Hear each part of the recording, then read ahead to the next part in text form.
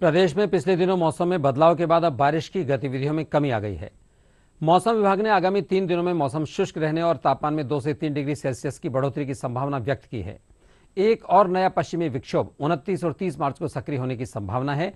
उनतीस मार्च को बीकानेर और जोधपुर संभाग के जिलों में बारिश का पूर्वानुमान है।